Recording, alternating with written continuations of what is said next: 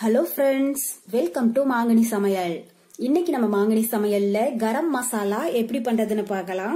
இது வந்து நம்ம கடைகள்ல வாங்க வேண்டியதில்ல வீட்லயே ரொம்பவே ஈஸியா செஞ்சு முடிச்சிடலாம்.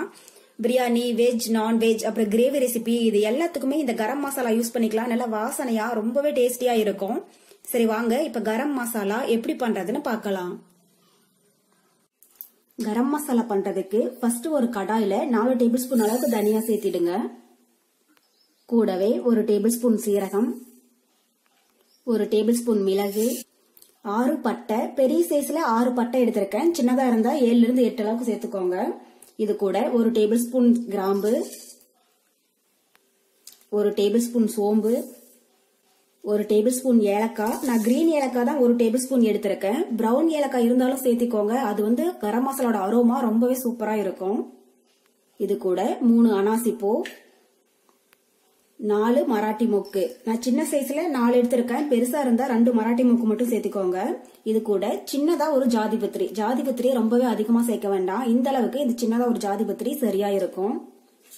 கூடவே நாலு பிரியாணி இலை. இதெல்லாம் சேர்த்துட்டு மீடியம் ஹீட்ல நல்லா வாசம் வர அளவுக்கு வறுத்துடுங்க. பாருங்க இப்ப மசாலா பொருள் எல்லாம் நல்லா வறுபட்டு நல்லா ஸ்மெல் வர ஆரம்பிச்சிடுச்சு.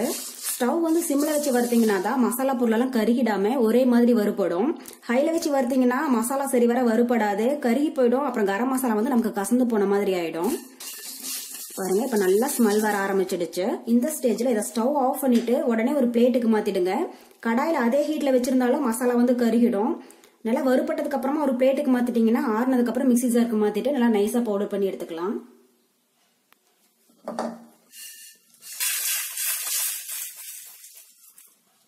கொஞ்ச நேரம் ஆறட்டும் அதுக்கப்புறமா அரைச்சி எடுத்துக்கலாம் இருக்கட்டும்.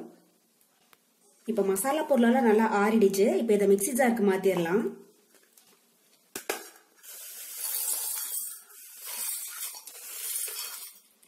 மிக்சி ஜாருக்கு மாத்திட்டு இந்த அளவுக்கு நல்லா நைஸா அரைச்சு எடுத்துக்கோங்க. இது ஆறுனதுக்கு அப்புறமா ஒரு ஏர்டைட் பாக்ஸ்ல போட்டு ஸ்டோர் பண்ணி வச்சுக்கிட்டோம்னா மூணு மாசம் வரைக்கும் ஃப்ரெஷ்ஷா அப்பரைச்ச மாதிரி நல்லா வாசனையா ரொம்பவே நல்லா இருக்கும்.